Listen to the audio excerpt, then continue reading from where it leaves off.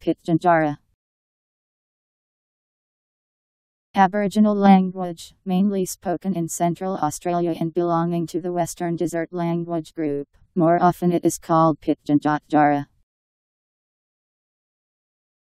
P I T J A N T J A R A